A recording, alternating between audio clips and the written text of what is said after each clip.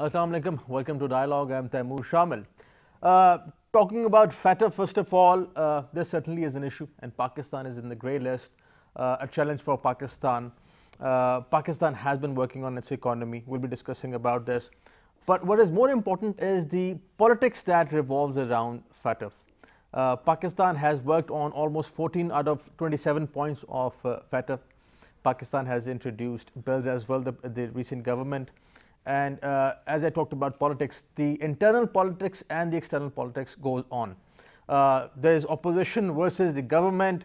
They have their own points regarding gov- uh, uh, FATF. There's national security, and at the same time, the opposition thinks that the FATF and the bills regarding FATF would be used against the uh, opposition. So, as far as the internal politics, Indian politics as they call it, goes, uh, this is the situation. But interestingly, when we talk about the external politics, uh, many experts are of the view that FATF 2 has uh, some sort of duplicity when it comes to sanctioning uh, few states. Uh, when it comes to Afghanistan, when it comes to uh, the economy, undocumented economy in Afghanistan, undocumented economy in India, somehow these two countries do not invite FATF sanctions. If money laundering is that big a case, then why New York and London are not under the sanctions of FATF? So there goes the international politics. But of course, since Pakistan is in the grey list, Pakistan has to work on uh, the uh, FATF points, the clauses that are there, 27 clauses as I just mentioned, and some of them they need legislation, and this is where the in internal politics goes on inside Pakistan between the government and the opposition. We're going to talk about FATF, politics around it, internal and external, and economy with our special guest in the studios. Our first guest is Mr. Shakil Ramay. He's an expert on Pakistan's economy. Welcome to the show, uh, Shakeel. Our second guest is Mr. Muhammad Ali, uh, renowned uh, expert on Pakistan's foreign policy as well as national security. Welcome to the show, Ali. Uh, Shakeel, starting with these, uh, this development, uh, the way I mentioned, the politics, first of all, internal and external, and then state of economy, money laundering and terror financing. How do you see this whole situation? I think uh, you have uh, summarized the whole story. So there is much, not much to say because it is basically the politics. If you look at the FATF, that is not any binding agency, it's a voluntary agency. So its uh, findings are not binding on the countries. But when some, uh, some country is come into the grey list, it has certain implications for that country on the economic side. Coming back, uh, uh, coming to the economic side, I will come back later, Yes. but the first the politics. Look, if you are talking about the US, if you look at the behavior of US before we started the peace, Afghan peace talk, and after that the behavior. Before that, they were trying, they were putting their all efforts to bring Pakistan in the grey, in the blacklist. But when Pakistan is uh, helping them to have a peace deal in Afghanistan, they have uh, started to change their behavior, although not fully changed because everybody is uh, looking for the settlement of Afghan peace process. So then it, there will be the final decisions. So basically, it's a political game. Right. So when you have a political game, that's mean whatever you do, whatever legislation you do, whatever bill you introduce, it will not help you much until unless the global political economy is not in your favor. So that is a fundamental thing we have to The keep system, in mind. the system the global right. political economy. You have to keep in mind. In global political economy, we are also having one or two uh, other things which uh, we have facing problems. Number one, the CPEC when we, if you look at that America, they are hell bent to oppose BRI, China, and CPEC. Even their high top uh, high, in their uh, top people in their politics and their uh, foreign policy, they criticize CPEC. They advise Pakistan not to go for the CPEC. Hmm. Openly, it's not any years behind the door Alice anymore. Wells, Alice Wells, So it's not behind the door. On it's open. Hmm. So people they're talking about. But Pakistan know that CPEC is our core. Uh, CPEC is our core project hmm. for our development, for the prosperity in the long run. Right. So you will see not only from the FATF, but also from the other corner, the opposition to the CPEC and the people who are attached to the CPEC. Ri- rightly said, Shakir. I'll, I'll come on the economy point. But before that, Ali, there's duplicity that is there when it comes to sanctioning few states and then you know sparing others. As I just mentioned, Afghanistan and, and India. Now, uh, I think we all know about Afghanistan and we all know about regional countries at least about India as well. Uh, if money laundering is that uh, is, is, a big uh, issue, then why do we spare London and, and New York? You have been to these countries and Europe and America. You know the system. What do you think about this duplicity, first of all? Um, I think uh, Ramesh has rightly pointed out, and I'll uh, take it from where he left, that essentially uh, economic coercion is increasingly being used uh, for geopolitical agenda by the world powers. And that is how uh, we can simply explain uh, FATF as an instrument of uh, economic coercion uh, to those countries which are vulnerable and dependent on the current world order in which unfortunately uh, despite new opportunities that CPEC and collaboration with China offers, Pakistan is still uh, heavily dependent on the export markets in Western Europe and North America. America still is our largest export market. Uh, we are still heavily engaged with uh, international financial institutions which continue to be dominated by the Western powers like IMF and World Bank. And even to some extent, if you look at the global economic power structure, even the Middle Eastern remittances are indirectly influenced uh, by the Western powers. So if you see Pakistan's vulnerability and way forward in order to reduce this vulnerability towards uh, the economic coercion uh, led by the US, then like you rightly pointed out, I think the, the evidence is itself available mm -hmm. manifested in the different behavior that the US and Western powers exhibit towards Afghanistan and India. TTP, BLA, so many hmm. outfits mm are overtly and actively operating from the Afghan soil. Why there is no pressure on Afghanistan government, on Kabul government that they fail in fact, failure is an understatement. They somehow have been uh, taking pride in supporting these elements like BLA and TTP against the territorial integrity and national security of uh, neighboring countries like Pakistan. You see the current administration in New Delhi is heavily influenced by RSS, RSS and uh, Bajrang Dal and, and Shiv Sena. These organizations, why there is no pressure on India mm. that uh, no exports should be uh, made to the western market by those outfits which are uh, led or influenced by shareholders who belong to RSS or uh, um, Bajrang Dal, I think there should be an expectation from India and our like-minded countries to begin with China. China, you know, has almost a hundred billion dollar bilateral right. trade with right. India. To begin with, first we can raise it with Beijing that they should expect a certification from India that any organization or entity which has on its board of directors, on its leadership, anybody who is associated with RSS or Bajrang Dal should not be allowed to export its products to the Chinese market. Mm -hmm. That could be the starting point. Right, right. This is very interesting. Uh, Shakil, this is the geopolitics. But when it comes to economy, uh, Prime Minister is pretty much concerned about this, you know, recently in his interview. How serious is the situation for Pakistan? Although we have been discussing this in the past, but once again for our viewers, how serious is the situation, this grey listing and blacklisting for Pakistan and the situation at the moment?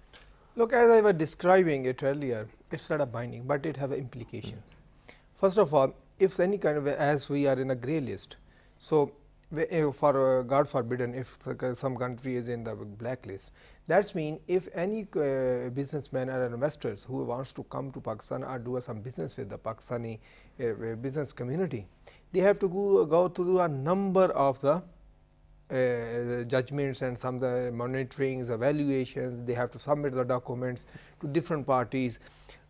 Number one, that means they are consuming their time and no businessman uh, businessman want to uh, that's every bank coming to them and say oh show us these documents because you're doing business with some country so which is a gray list or on the blacklist no businessman would want to that because they don't want to expose their assets or their expose their accounts or their business to any other body.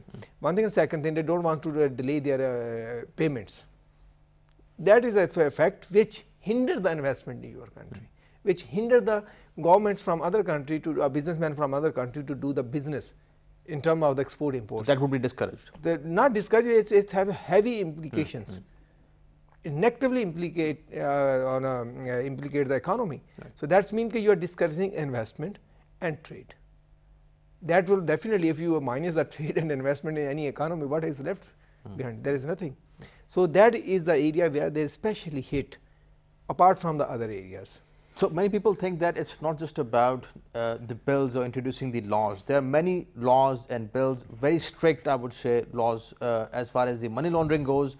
But implementing those laws is very important, and there is what that's the area where we need to work. Look, one thing is national implementation, as Ali was talking about, implement national level. That is definitely weak in certain areas, especially if you look at the FATF. Basically, it started for them to stop the money laundering, not the terror financing. It started with them to oppose the money laundering, and money laundering is a big problem in Pakistan. If you look at uh, everybody is talking about it, it's not only uh, you can talk about the politicians, you can find also people from the other areas. Uh, but right now, unfortunately, only we focus on the politician, but you can find people from every field. So Hundi is also money laundering type. Only uh, Hundi and Hawala. So, so Hawala, these are other, other things. That is a problem. But at the global level is also a problem. Pakistan have to be the proactive right now. I don't know why they are in a defensive mood. They must be in the offensive mood. They said, okay, we are, we are going to do it, but we need these information, which are the destination for the money laundering. Virgin Islands, we need this information from the UK. If you are not taking care of the destinations, because you are providing them the facility to hide their money, so it is for the FATF to provide with, uh, uh, the no, not information FATF. If uh, we should talk to those countries. Okay. Okay, we have to talk to the uh, FATF. Look, these countries are your members. Make them make it binding for them to provide this as information to stop this money laundering. Right, right. For example, there a few days back there was a video from a, from a UK journalist. He was showing that there was happening there how the London is the home to uh, the money laundering, Yes. and the Virgin Islands are a home to the money laundering. Where is money is going? Is going to the money to Pakistan or to some other country? No, money is going to these all developed countries. Pakistan must be very proactive on that and offensive. Look, we need this information. Provide us. Otherwise, we will not be able to do that. One thing. Second thing on economy. You are uh, uh, Ali was talking about uh, India, and you are also talking about India. So why they are giving the leverage to India? Because they have the economic interest. They want to build him against the China, which is which is not possible. So they, that's why they're giving him the leverage. And there's you can see so much hypocrisy at the Indian level and the international level. So on one side, the Indians are lynching people for the beef or cow. On other side, they are the one of the major uh, top five. Uh, they lie in the top five of the exporter of the beef. Right. So that is a Right, hypocrisy. of course, duplicity is there, but this proactive approach, Ali, uh, this is a very interesting point raised by Shakil. What do you think about this? Raising up this issue with the countries that are involved in this money laundering, that would be that would be good for Pakistan, and perhaps we can work on it. What do you think about I this? think uh, we need a comprehensive approach at uh, three levels at the domestic level, at the regional level, and at the global level. We need to improve our economic governance. We need to expand the tax net and transparency for our own interest. Whether there is some international coercion, expectation, that's not, right. notwithstanding the point. We need, because we need to expand our tax net, we need to regulate our economy. Most of the things that you and I purchase during every month, grocery, uh, is not taxed. So we need to expand our tax net. This will incrementally help the current uh, PTI government's agenda as well because they want to expand. Pakistan, Shakil Saab will tell you, has a huge issue because we are uh, desperate to expand our tax revenue and that is only possible when the economy is documented, when it is regulated. So, that is the first thing for our own interest. At the regional level, we need to expand and thankfully here you see a synergy of geopolitics and geoeconomics that we are uh, improving our social and economic interaction with China, with Afghanistan, with Iran. This will incrementally reduce our dependence on Western markets. We are culturally uh, similar. we are close by, the lifestyles are similar. So that uh, Sadiq Saab is doing an excellent job in uh, Kabul Afghanistan. with Afghanistan. We need to improve our relations and uh, uh, with Iran as well. This will translate into more export revenue with regional countries and reduce proportionately our dependence and vulnerability uh, regarding the western powers and western markets. And the third level is global and that is also incremental that gradually with CPEC and emergence of parallel international financial institutions like uh, Asian Inve uh, Investment Infrastructure Bank and other organizations, we should gradually reduce the dependence on Western financial institutions like IMF and World Bank diversify our markets. We are we have recently, you know, have uh, uh, you know look, look east policy as well as we are reaching out more proactively to Afghanistan, uh, to Africa, and also to Latin America. So our industry also needs to be smart, competitive, and recover from this economic dependence Right. on Western But markets. this is a very uh, interesting point, but Shakil, we have been discussing this, this point specifically of trade, diversifying the, the industry for that matter, and we have a long way to go, by the way. But talking about the region, uh, this is not an easy region. We see war in Afghanistan, sanctions on Iran, you know, aggression from the Indian side. Of course, we have good, very good relations with China. But talking about Iran and Afghanistan, do you think that Pakistan at this moment, while these countries are under sanctions and war and internal rift, can diversify its economy? Look, first of all, when we talk about a diversify export, or diversify the destiny, what we can offer to the country? These are four, five products only. Why our first FATF with the China could not bring the fruits which we were hoping? Because we were want, we, we wanted to export them rice. They have abundance of rice. We wanted to export them garments or textile. They are the biggest exporter of garment. So, what do you want to Let's talk diversify? about Iran and Afghanistan. So what do you want to diversify for, for Afghanistan that we have the market, but th- this is a we have to look at that. What resources that country have? If you uh, minus the uh, foreign aid from uh, uh, Afghanistan side, so that's mean you are uh, there is nothing.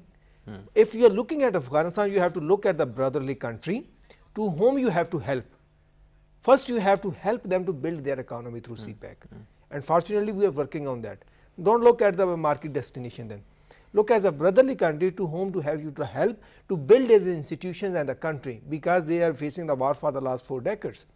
In terms of the for Iran, we can have some uh, leverages, especially for the rice export. But for that purpose, if you look at that, we don't have the uh, official banking system with Iran. Iran, right. Even if Iran have to pay the salary to their staff in their embassy, they have to go through a very long process. So what you talk about the trade? It's a, it seems fancy when you're talking about, oh, we can do it. But you need a lot of the homework. So that is Right. a real problem where we are stuck. We have to work on that. And second thing, Ali was talking about the tax. Hmm. I am in a favor of system. Don't only depend on the tax. You have to be the you have to mix your sources, the balance your sources. The government should must have some, must have some entities in the business like steel mill, like PIA, like other. They should go for the state-owned enterprises. I am strongly in favor of that. But the only problem is their governance we have to build their governance. We had an excellent opportunity right now to rebuild our steel mill because we are going to invest in our two or three big dams. We are going to invest in our rail- ML1. So there is there will be a huge demand for the steel. So you have the huge market there. You can rebuild your uh, Right, steel right. mill, but you have to go for the right set of Coming back to FATF, uh, one question about the again about the implementation and the laws. What do you think about this? That the laws are there, still we have a lot of laws, but when it comes to implementation, that is where the issue is for Pakistan. Look, in Pakistan, in implementation, the misuse of the law. For example, if I can tell you, the first anti-terror law was introduced during the regime in 1970s, but it was used against the political leadership of the opponent parties. The the real problem is not only implementation, but also a misuse of the law. That's why sometimes people reject those laws because they fear in the long run it can be misused against them. So, So what we have to do, we have to bring the transparent system of implementation where nobody can object. It's a misuse of the law. So why cannot we work on these laws to be you know smooth and That's what I'm saying. We have to bring a transparent system mm-hmm. where everything go in the transparency. It should not be like that somebody say, oh, he is doing wrong, so he should be bring to the justice. So this recent situation now, government versus the opposition, this is going to have an ad adverse impact on, on, on the national security right. and on Absolutely right. You are absolutely right. But there we need the political maturity from the both side, hmm. the political wisdom from the both side.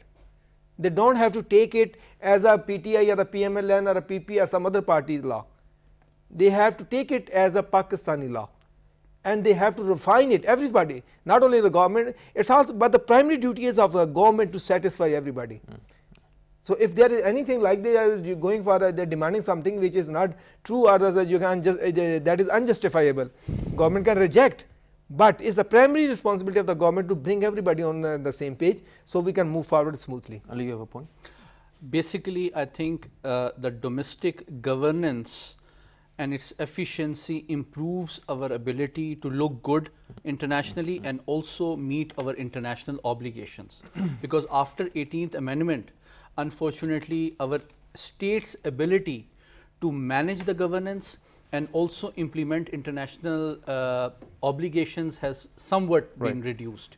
So that is a challenge, but like uh, Ramesh rightly pointed out, essentially it's a governance issue mm. and that is unfortunately also related to culture.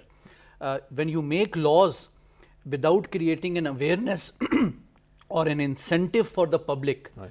to pay uh, taxes, to make uh, their transactions transparent, it requires a lot of cultural um, understanding and a transformation which requires a specific tangible incentives, not just a carrot and sticks uh, approach. Right, right. That is very important, without which obviously lo making laws is important, but to implement those laws, you need to create incentives and transform the culture mm. of, uh, to gradually build a society which uh, values good governance and system. to strengthen those regulatory bodies, you know, yeah. that is very important to keep them running. Yes. Uh, uh Mr. Shakil, thank you for joining us.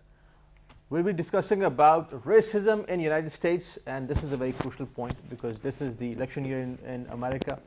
Uh, President Trump versus uh, uh Joe Biden and uh, we have seen in the past the way African Americans have been targeted in the United States and there is this structural racism in the United States. We'll be discussing about that and the impact of that on the internal politics of the United States. Stay with us, we'll take a break. What's going on there? Welcome back. Uh, racism in United States is a big issue and this racism is in, uh, structural uh, in America.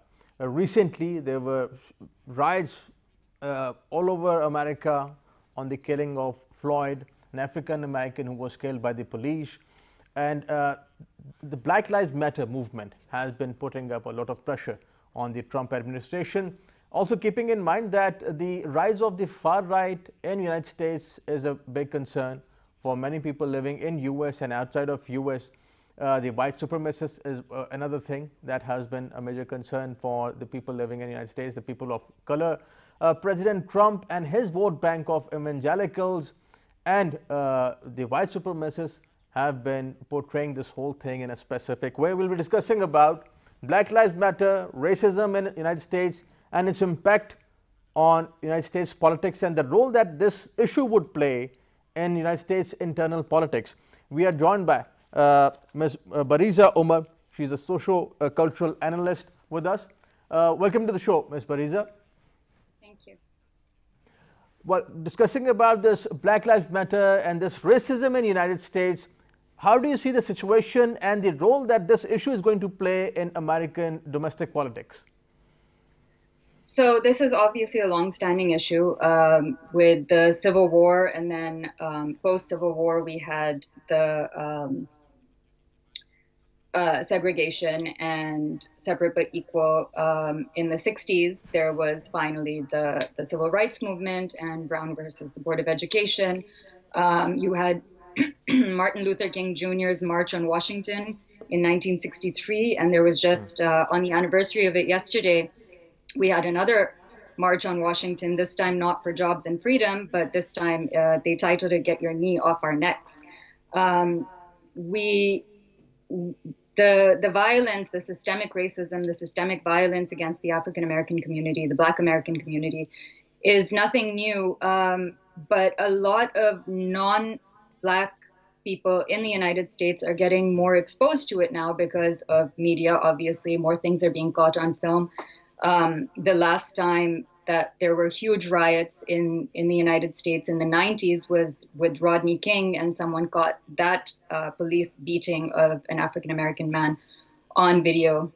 And subsequently, there have been um, many more lives lost to um, police violence.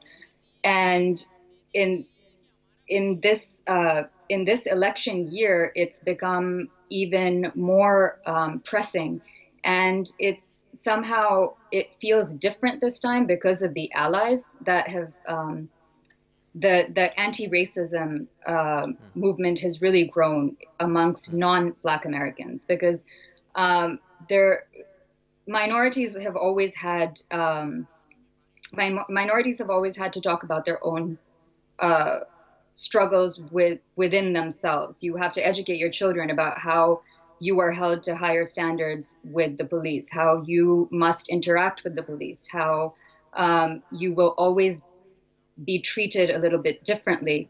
Um, and so you need to hold yourself to higher standards despite the, the systems that have held you back in in ghettos, in um, with redlining, not being able to buy property, with um, the the taxation paying for schooling, and therefore not as as good schools in less affluent neighborhoods, with gerrymandering, meaning that um, polling places in largely African American neighborhoods are being shut down, or public transport systems are making it more difficult for them to get to polling systems and um, cast their votes. Uh, this is especially true in in the recent past, where um, or even um, for the since Martin Luther King Jr., where you right, have right, right. largely uh, African American women are the largest vote bank for Democrats. And so the pressure this year for Joe Biden to not only um, have a running mate who was a woman, but also to have an African American running mate, hmm. um, has led, of course, to his his appointment of Kamala Harris right, as his running mate. Right. Bariza, please stay with us uh, on call. Are you talking about this discrimination, and that is almost at every level, let it be at the school level, college, university, when it comes to policing, know, the American cops. How do you see the, the uh, situation of human rights and, and uh, uh, the African Americans in the United States? Uh, Shamil, I think the upcoming elections are going to be one of the most decisive mm. in the US political history for three reasons. Number one, I think these elections in particular will be fought on race. Number two, for a very long time, perhaps since the Black Rights Movement of 60s, this is perhaps the most polarized race relations that the US has witnessed in a very long time. Mm. And thirdly, I think uh, the debate, the relations, the societal sentiment in the US has never been so charged mm on the race for a very long time, for 60 years. So I think uh, the Republican administration are perhaps at a huge handicap, not only because of their uh, reliance on the white conservative vote, but also their insensitivity hmm. towards handling this very delicate and sensitive issue. And thirdly, you see Democrats having a huge advantage uh, in the upcoming elections because not only that they ideologically align themselves with the liberal agenda, with the liberal narrative, but also because their vote bank heavily relies right. on the minorities, the uh, the blacks, uh, and the educated middle class, which um, you know is pop which populates the uh, uh, the east coast and the west coast. So I think, um, and no administration has um, so badly damaged the US soft power right. at a global level hmm. than the current administration. Because the US administration's narrative hmm. that the US dream is worth exporting to the world and is worth uh, emulating by the rest of the world. This has been questioned like never before. Right. That if you can't manage your own minorities, hmm how can you tell other countries, developing countries, how can you sermonize other countries mm. uh, what is what to do right, on human right. rights and other issues? So there is this duplicity. I think there is this uh, the U.S. meta narrative mm. at the global level and their international image as a world power, which which is confident of its val its liberal values, uh, is very weakened now mm.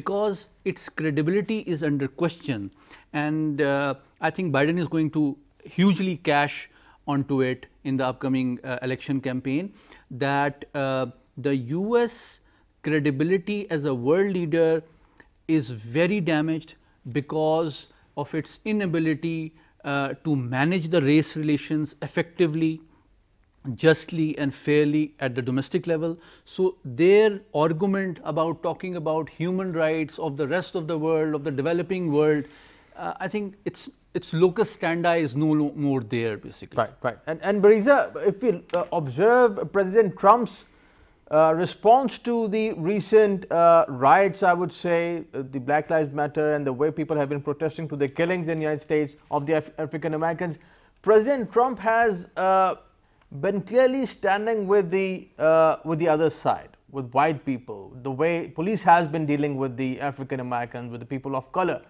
And we didn't see any sort of apologetic uh, response from uh, Trump administration. How do you see uh, this as an, uh, uh, as an impact on the culture and politics of the United States?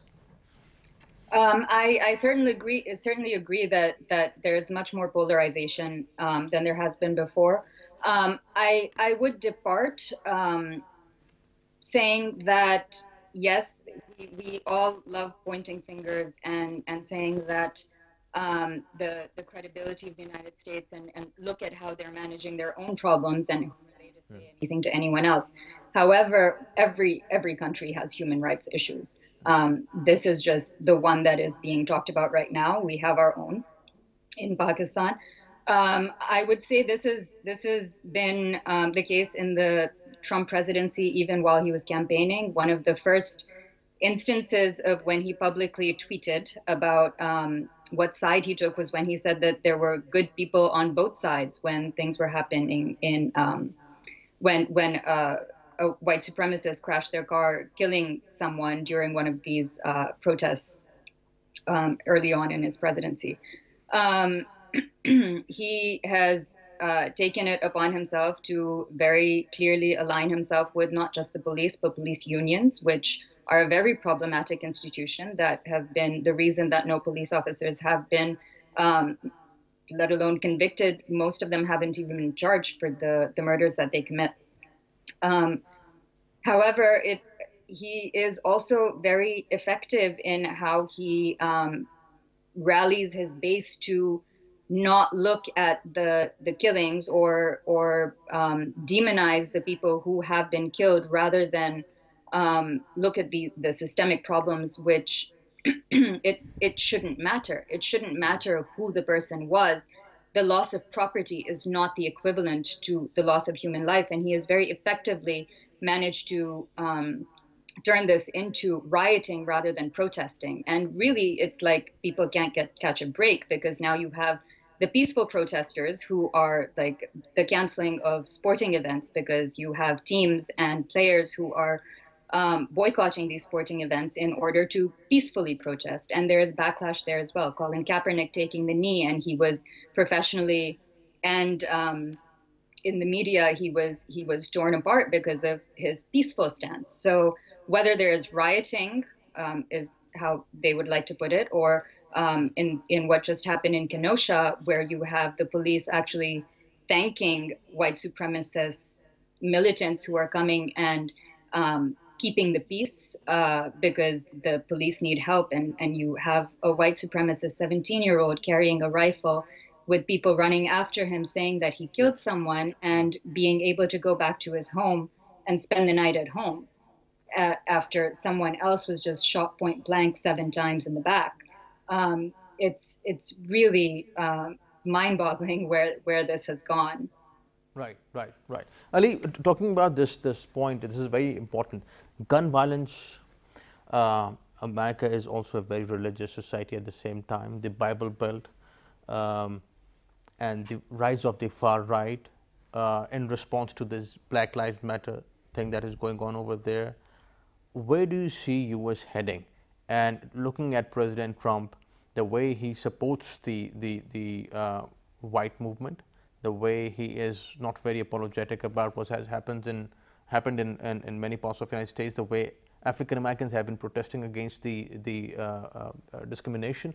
How do you see this? I think the U.S. society and the U.S. state and their mutual uh, social contract is right now undergoing a very profound test, hmm. which is I think very uh, very critical in its you know history, entire history. Because in the 21st century, as some of the leading ideologues like Kissinger, Huntington, uh, have been and, and uh, Fukuyama have mm. been arguing uh, that US has the uh, confidence and the values to lead the world towards peace, prosperity and progress. This claim uh, before the world is being tested today like never before. The US soft power has been dented like never before. Uh, the social fabric is weakened and you see uh, unprecedented failure by the state to be sensitive towards the social issues uh, afoot and the trends in the in in the um, US society. Hmm. So I think it's a great test in the history for the US political system, right. not just the current administration. When you see the strength of the US uh, Shamil has been that whenever um, uh, there, there is a separation of power, of power concept in, in the US, which is which they take pride in. That if the White House is not performing, the Congress will, uh, you know, fill in that vacuum, and the other institutions will also compensate. Right. But while the the current administration, the Republican administration, has failed to show sensitivity towards the mm. social mm. trends, the other institutions, the think tanks, the academia, mm. uh, the intelligentsia, they are also absent uh, and conspicuous by absence mm -hmm. in terms of providing the intellectual leadership, the moral solutions uh, to address these social challenges. So, I think uh, there is a failure of leadership not just at the domestic level, but obviously uh, evident at the global level. And this crisis of leadership right. Will define the world peace, progress and prosperity and also uh, I think leave a very deep imprint on the current world order because this world with the COVID crisis, uh, with the emergence mm -hmm. of alternative poles, uh, an integrated economy, a globalized world needs a visionary mm. world leadership like never before, which the US system, not just Mr. Trump uh, as an individual, seems not to provide. And this is basically in one word is the crisis of leadership at the world level. Right. And at the domestic level, the US administration and the system fails to offer timely, effective solution to address this very critical social critical. challenges. Certainly. And, and uh, Bariza, do you think that at the moment US is divided on liberal and conservative lines? Uh, because the way, let's say, uh, Biden has been challenging Trump and saying that this is going to have an impact on the Republican uh, administration. When uh, Biden was, Joe Biden was the uh, vice president, Democrats couldn't do much about the racism to keep a check on the racism in the United States. Obama was the president. but we didn't see much that even the Democrats could do about this kind of racism, and now it has deteriorated. Do you see it that way? Um, so when Obama was president, I think that was when we saw really how per pervasive really um, racism is, because there are a lot of things that he could not get done, which had he been white, would not have been so problematic. When he came out and spoke about the 12 year old, well, the child really Tamir Rice who was murdered and he he was almost in tears when he said that if that had been uh, if he had a boy, that could have been his son. Um, there, he couldn't do much about it. He was he was roadblocked at every at every level um, with his domestic policies, and I think that was with with uh, a largely Republican House and Senate. It was very difficult for him to do anything. However, um, Biden will not face the same problems. Um, he has uh, huge support within the African American community. However, there is um, with Kamala Harris, she is a black woman, yes, um, but there are a lot of issues with her history as a prosecutor. And uh, a lot of the black community is not necessarily pleased with her selection because she put oh, she she um, she participated in the system which which incarcerates black, especially black men, but um, black, black American individuals at a much higher rate. Black Americans make up for 40% of the prison population, and they're they're less than they're about 13% of the general general population of the United States. Um, so that I, am not sure um, what is going to happen with that. However, I will say a lot of Trump so people who voted for Trump in the last round of elections did do not see themselves as being racist and a lot of what is happening now is really um, pushing them to not vote for Trump this time around because they, they don't believe that they are racist. And that was not why they voted for Trump the first time around. So I, I do think that there is a chance that, that the politics is um, has changed. It's not all about the economy. Now it's about COVID and race, mm-hmm. um, which is certainly new in American politics. Right, right. Riza, thank you for joining us. Thank you for your time. Ali, pleasure having you on the show. Thank you for joining thank us. Thank you. It's a pleasure. That's all from today's dialogue. See you next time. Khuda Hafiz.